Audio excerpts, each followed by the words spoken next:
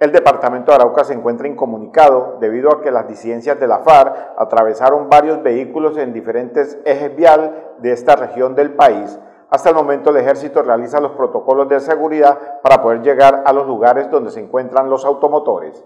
Aún continúan los vehículos atravesados por las disidencias de la FARC en los diferentes ejes viales del departamento de Arauca por conmemoración de los 55 años de la guerrilla de la FARC. Los subversivos atravesaron varios vehículos en la vía que comunica el municipio de Tame con la capital araucana, dejándolos incomunicados con el centro del país. En las últimas horas se conoció que fue atravesado un camión entre Puente Lipa y Panamá de Arauca. Los guerrilleros salieron en la carretera que comunica el municipio de Arauquita con Saravena y obligaron a algunos conductores a atravesar los vehículos en este eje vial. El último automotor atravesado fue en el sector del centro poblado de Puerto Nariño. Otra de las vías afectadas por los subversivos de las disidencias de la FARC es la que comunica el municipio de Tame con el municipio de Fortul, donde atravesaron un camión tipo furgón con el fin de obstaculizar el paso por esta vía. Horas más tarde, los guerrilleros atravesaron otros vehículos en la vía que comunica el municipio de Fortul con el centro poblado de la Esmeralda, jurisdicción del municipio de Arauquita, dejando incomunicados seis municipios del departamento de Arauca. Las tropas del Ejército Nacional realizan los protocolos de seguridad para llegar a cada uno de los sitios donde se encuentran los vehículos atravesados para realizar el barrido y la inspección de cada uno de ellos y verificar que no tengan ningún tipo de artefacto explosivo. Hasta el momento las autoridades del departamento de Arauca guardan total silencio de la alteración del orden público que se presenta en esta región del país.